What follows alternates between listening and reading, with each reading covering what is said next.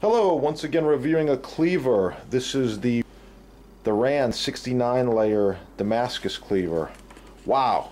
Comes with a booklet, uh, all the different knives that are available and things like that. Some technical stuff. I'll show you this knife uh, one more time here. This is one of my favorites and I think uh, I think you're going to like it too.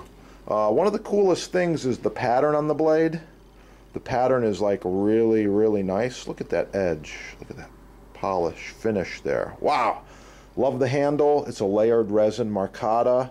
Uh, there's 69 layers on this blade, soft and hard uh, folds around the outside. It is a special, uh, kind of hard to get it out of the box here.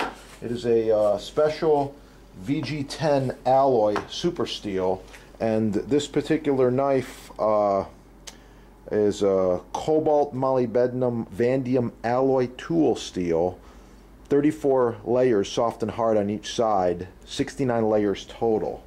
The handle is a FDA approved resin and it's really cool. It's got a really cool uh, pattern layer. It almost looks carbon fiber.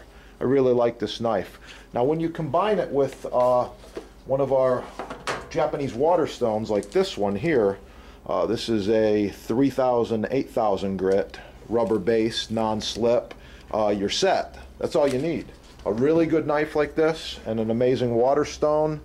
Uh, add the clips, get the perfect angle, you're good to go. Thanks for watching. Everything's in stock at your sponsor, chefdepot.com. Have a great day.